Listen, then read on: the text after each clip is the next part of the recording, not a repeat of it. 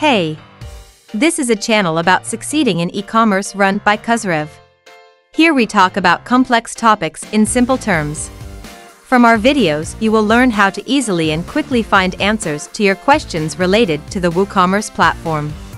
Subscribe to our channel and turn on notifications so you don't miss new videos. In this video, we will look at different ways to get order details in WooCommerce.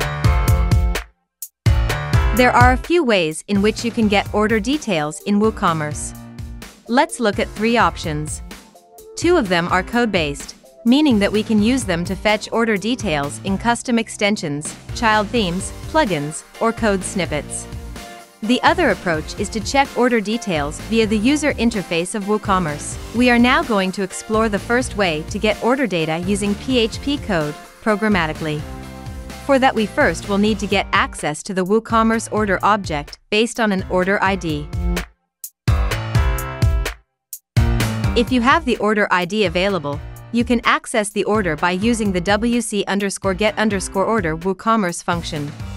You can obtain an order object for using get methods from wc underscore order and wc underscore abstract underscore order classes by using the dollar order underscore ID like this. Dollar order equals wc underscore get underscore order, dollar order underscore ID. Now that we have the order object we have access to all the details associated with that specific order, including the customer details, products in the order, payment information, and so on. The WC underscore order object contains all information about WooCommerce orders. It also extends the abstract order class, so it inherits all the methods from that class too. In the following example we'll see how to get the following details from WooCommerce order. As you can see once you have access to the WooCommerce order object, you can get a lot of details and customer information that are related to that order. Let's see how to get customer billing information and customer shipping information from the order data. The code above demonstrates how to use the WooCommerce WC underscore get underscore order function to create an order object. Once you have created the object, you can use different methods from the WC underscore order class to get information about the order, such as customer name and address.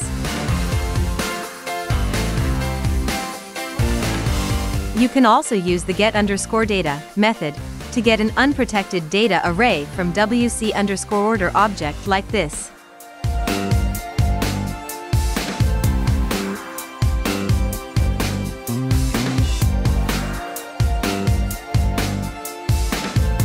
If you want to get all the order details based on a particular WooCommerce order, but you are not looking for a coding solution you can do it with the help of WooCommerce user interface. To find the details associated with a specific order first you will need to navigate the WooCommerce orders list in your WordPress dashboard. Once you find the specific order that you are looking for click on it and open the order page. You can get all the order details that you might need from that page.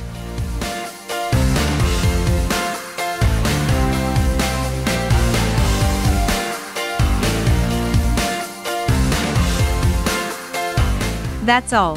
Please press the like button to subscribe for updates. We hope to see you soon on our channel again. All the best, CusRev team.